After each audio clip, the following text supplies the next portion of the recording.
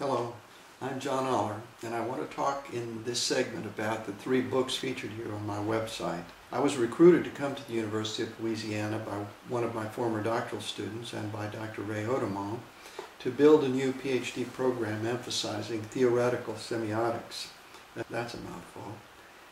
What it means is theories of sign systems of all kinds. I'd become interested in the mystery of autism some years earlier, thanks in large part to uh, Dana Rascon, one of my collaborators at the University of New Mexico.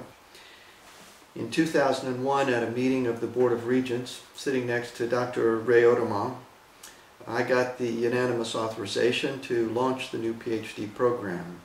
We began by applying the general theory first to uh, language development in the book uh, referred to as milestones, normal speech and language development across the lifespan, and uh, secondarily in uh, uh, cases, it's an encyclopedic work, uh, applying general theory of signs to communication disorders across the lifespan, published in 2010, and then finally to autism, the mystery thereof in the book Autism, the Diagnosis, Treatment, and Etiology of the Undeniable Epidemic.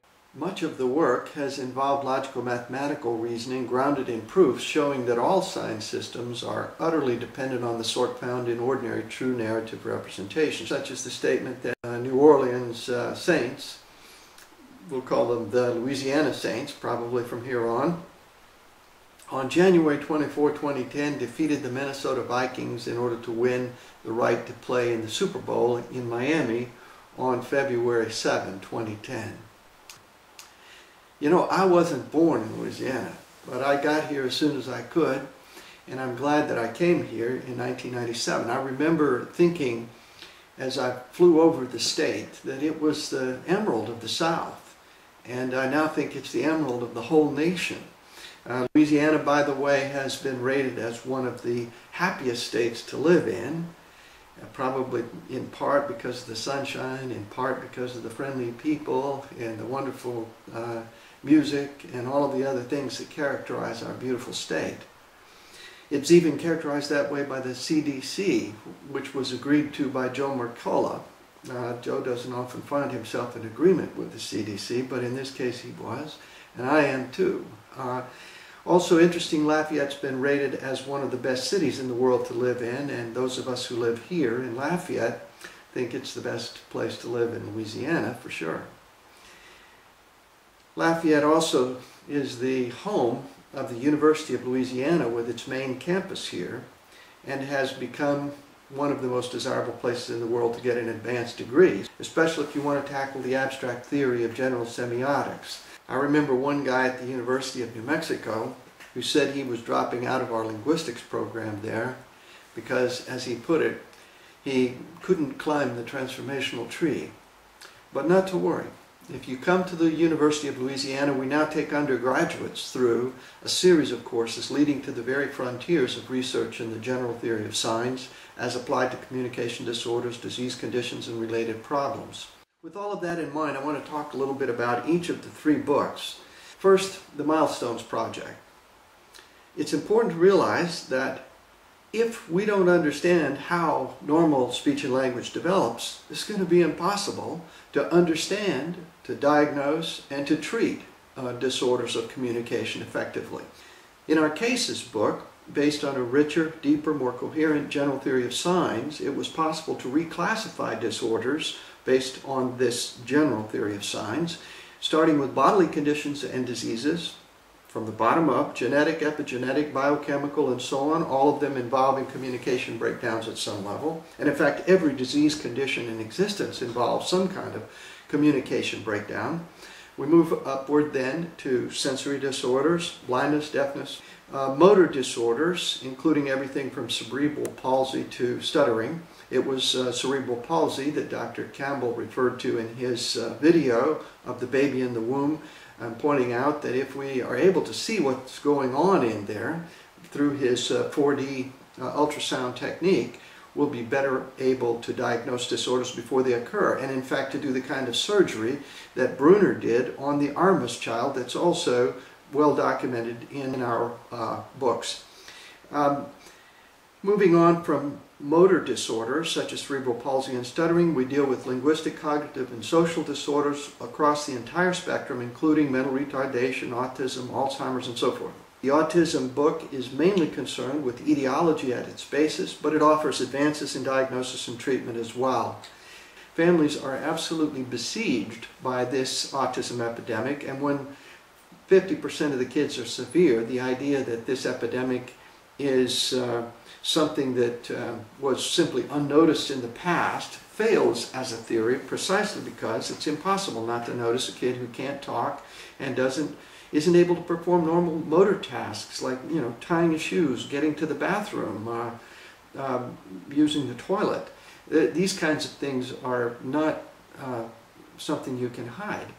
We know that that uh, toxins and disease agents have, in some cases, interacted not only to produce the disease or the disease condition, but actually to even kill a child and produce uh, sudden infant death syndrome.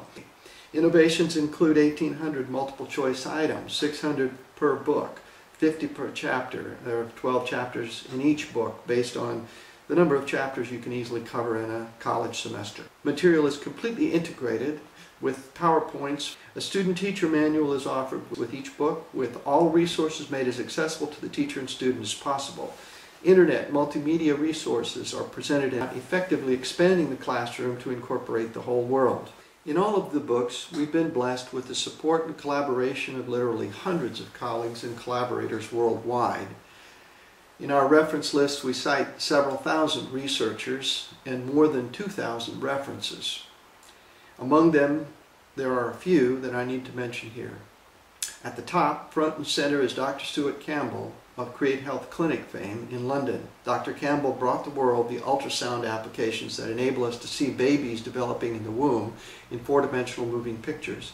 He was the first to show the world how babies take steps in the womb before they're two inches tall and how they can smile before birth. He believes as we do that the fetal smile and the infant smiles thereafter are typically indicative not of gas pains, but rather of contentment and security. I must also mention Dr. Robert Titzer, the psychologist who taught his daughter Aleka to read at nine months and showed that any normal child could do as much. The child can read before, can read words with comprehension before they're able to say them. Reading isn't turning printed form into speech. Reading is turning printed form into meanings. Inadvertently in doing so, he fulfilled a prediction of the general theory of signs, in particular the theory of abstraction, showing how and why it's possible for any normal child to learn to read printed words with comprehension before they can walk or talk. He also confirmed the theory of one of my former doc students at UCLA, Dr. Stephen David Krashen, that comprehension must precede production. It was Dr. Badon who first brought our team of co-authors in touch with both Dr. Campbell and Dr. Titzer in effect, those researchers gave us access, uh, just gave us access to all of their work. In addition to them, we received materials and support from Dr. Fritz Lorscheider, Naweed Syed, Dr. David Kennedy, Dr. Andrew J. Wakefield, and the list goes on.